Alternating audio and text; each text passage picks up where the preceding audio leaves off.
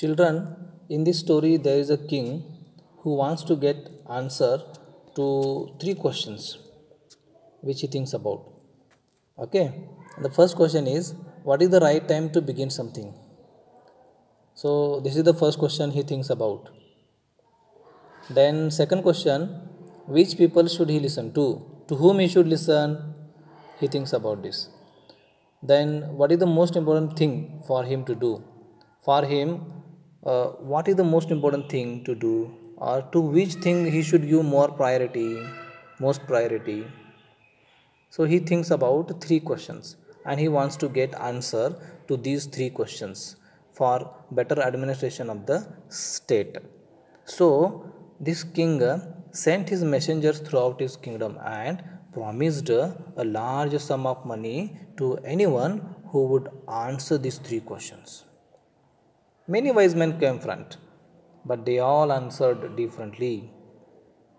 Some said, in the reply to the first question, that uh, king must prepare a timetable, follow it uh, strictly, and uh, others in this way they said uh, that uh, it was impossible to uh, decide in advance the right time for doing something.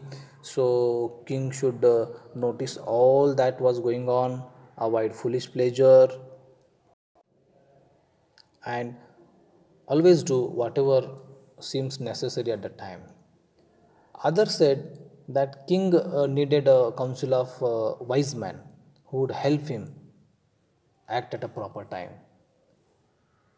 This is because uh, one man would find it impossible to decide correctly without help from others. So the right time for every action the council of wise men, king was needed, some said, who would uh, give proper guidance to the king in the transparent administration of the state.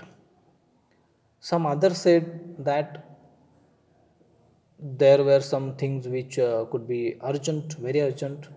These things could not wait for the decision of the council and uh, in order to decide the right time for doing something it is necessary to look into the future. And they said only magicians could do that. Therefore therefore this king would have to go to the magicians. In their in their answer to the second question some said that the people most necessary to the king were his counselors. Counselors were very, very important. Some said priests were very, very important. Some others said doctors were very, very important. And yet others said soldiers were very, very important. So this was the answer of the second question. Then third question, some said that science. Others chose fighting and uh, yet others chose religious worship. And as these answers were different uh, king was not satisfied and he gave no reward to anybody. Instead he decided to seek advice of a certain hermit who lived in a wood and he goes there along with his bodyguard. He put on uh, ordinary clothes. Then he reached the hermit's uh, hut and king uh, left his horse with his bodyguard and went on alone. Till here we have seen.